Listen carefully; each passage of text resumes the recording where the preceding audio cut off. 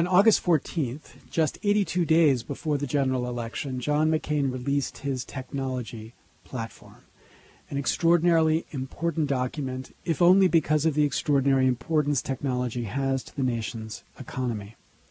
This platform touted John McCain's experience, described him as the former chairman of the Senate Committee on Commerce, Science, and Transportation, a committee, the document notes, that plays a major role in the development of technology policy.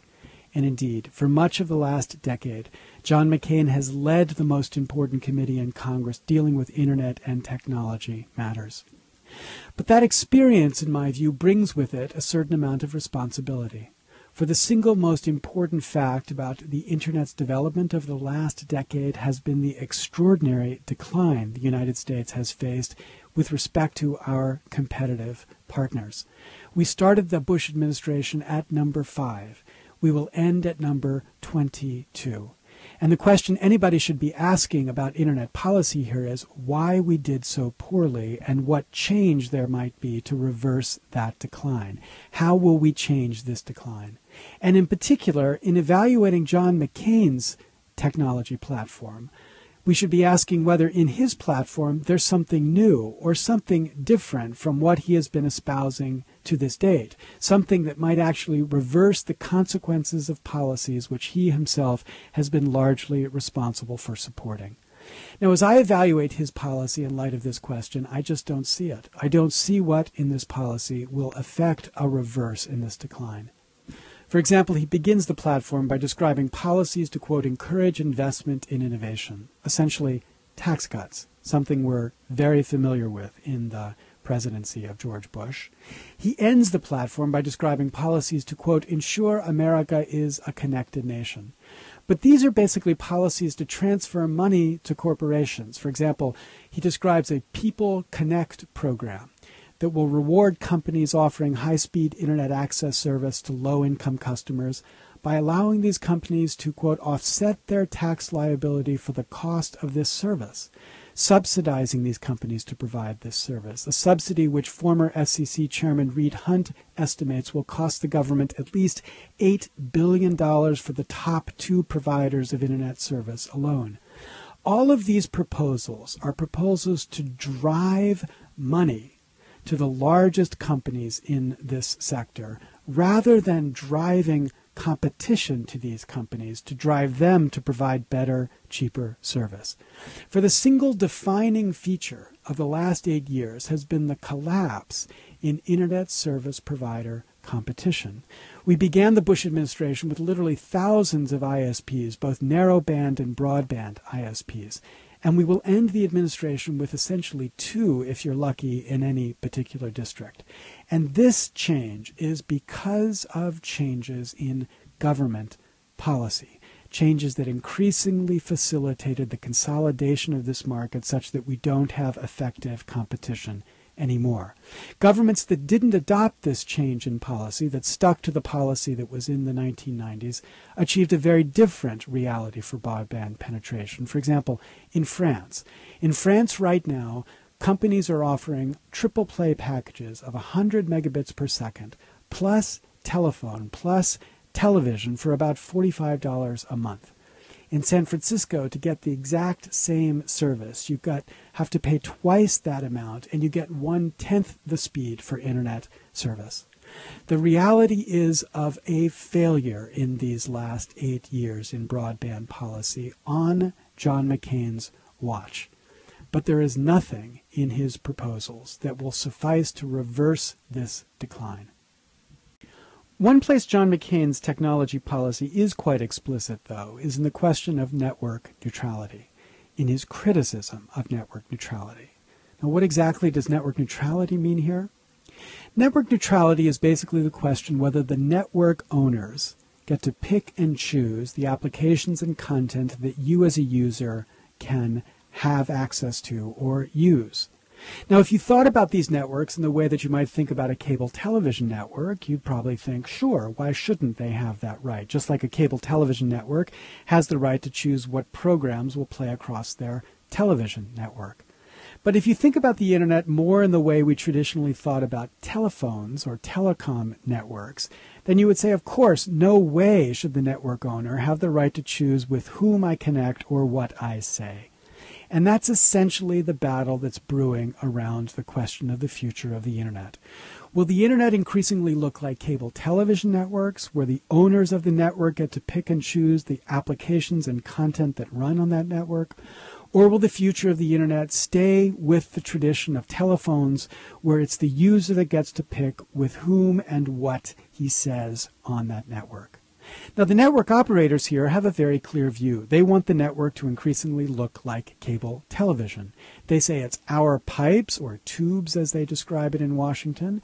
They say we get to control which content and which applications get to run on those pipes. But network neutrality stands for a very different principle. It is that the consumer should have the right to choose. So just as with the telephone network, you get to call anyone and say anything so long as it's legal, and connect whatever you want to that network, at least so long as it's not harmful, and rely upon important competition to keep the price low and the quality high, so too for the future of the internet. We should have the right to access anyone, use anything that's legal, any application that's legal, attach whatever devices we want to this network so long as it's not harmful, and depend upon a context of competition to guarantee that prices remain low and quality remains high. Now, John McCain's policy initially makes it sound like he supports these freedoms. He says he will preserve consumer freedoms and identifies the freedom to access the content consumers choose, use the applications and services that consumers choose, attach the devices that consumers choose, and be free to choose among broadband service providers, presumably in a context of competition to keep prices low and quality high. These, in fact, are four freedoms that were originally articulated by former FCC Chairman Michael Powell, the man said to have authored the technology platform that John McCain is now espousing. But Michael Powell never intended these principles to be enforceable. Instead, he believed in a faith that the companies providing access to the internet would make that access contingent upon securing these freedoms. Now, that faith was tested for Michael Powell by a company called Madison River, a company that provided DSL service, but then decided to block voice over IP applications on their DSL service, requiring the FCC to step in and tell them to stop.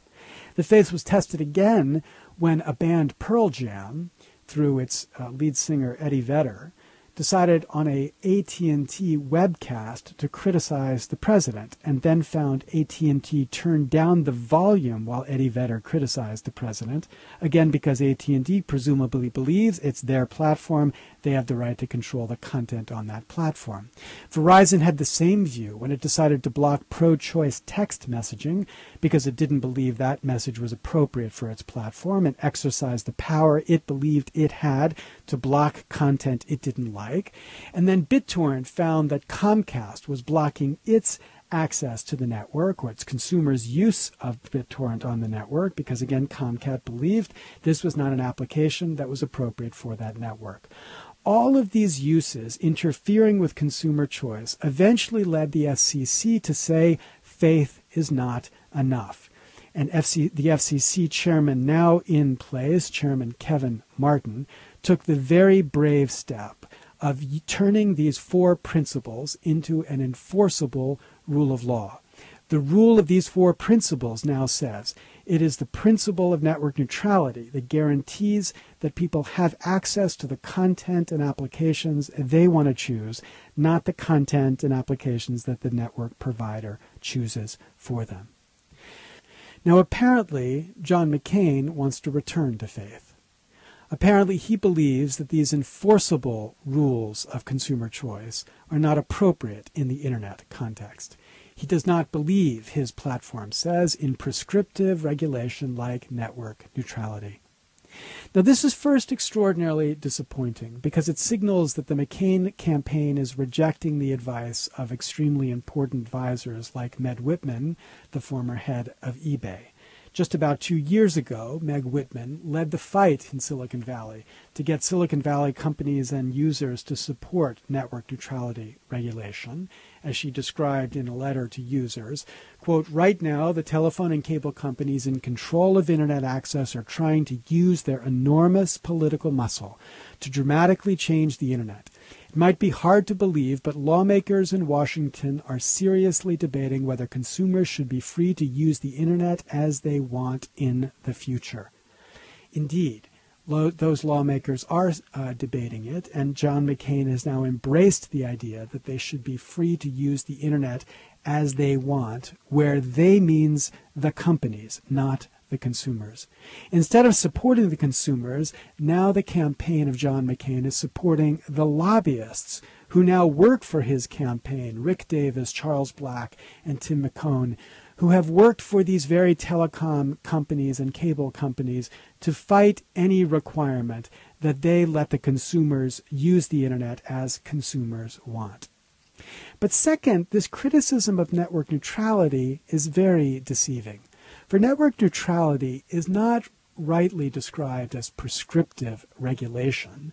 Network neutrality is the heart of how the internet was designed. As I described this in testimony I gave in 2002 to John McCain's committee, I think the first testimony to refer to this concept of network neutrality. Neutrality was at the very core of what the Internet originally stood for, meaning the Internet itself would not discriminate against applications and content. Instead, the applications and content that succeeded were the applications and content that consumers or users of the Internet enjoyed. That neutrality is what produced the incentive for the extraordinary growth that we saw in internet usage and innovation, and it's that growth that defined the success of the original internet. Neutrality is what the internet was, and the question we now face is whether neutrality is what the internet will be. And thus, defending net neutrality is to defend this tradition of uh, competition that created the original internet, to defend it against the work of the lobbyists who increasingly want to see the power shift from the consumers to the network owners. They want to see the internet in the model of cable television owned and controlled and thereby weakened. And the product of that weakening is partly what we've seen over the last eight years. John McCain has now picked sides in this debate. He has picked sides against the Internet, or as they call it down in Washington, the Internets.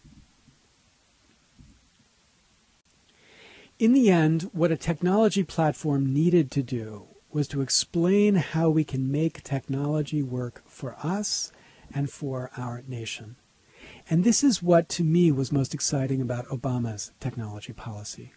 For in addition to outlining important principles around access and network neutrality, Barack Obama's policy advances ideas about how we can use technology differently.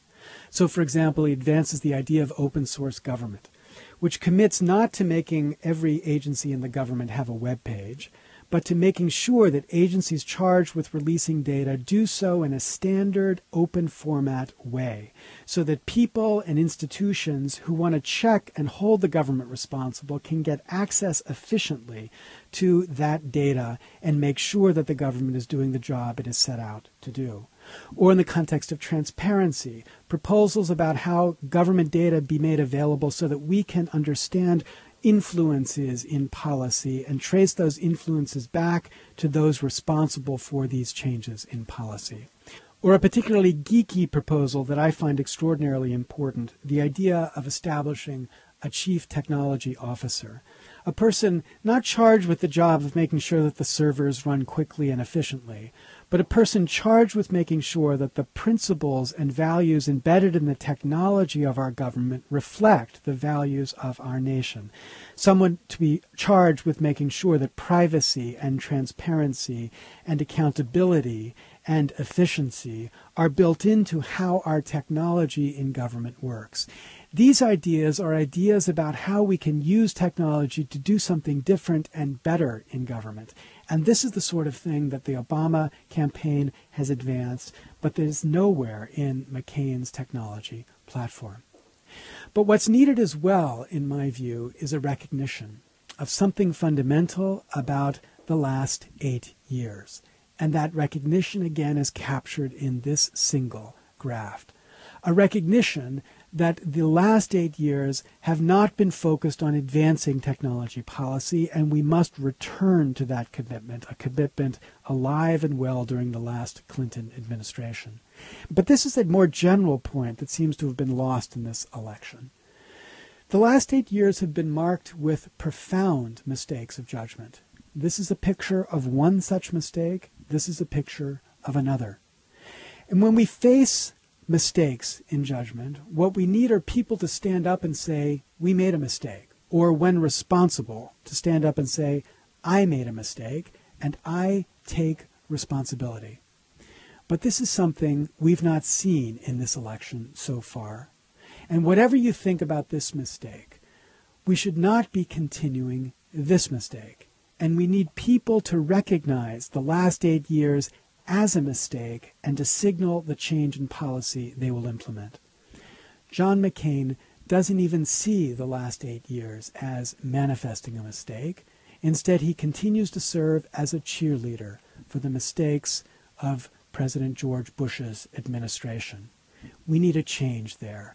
The net needs a change there. If we're going to realize the potential of this extraordinary infrastructure to create both jobs and economic growth, and the potential to make government work better. This is Lawrence Lessig, and Barack Obama had nothing to do with this message.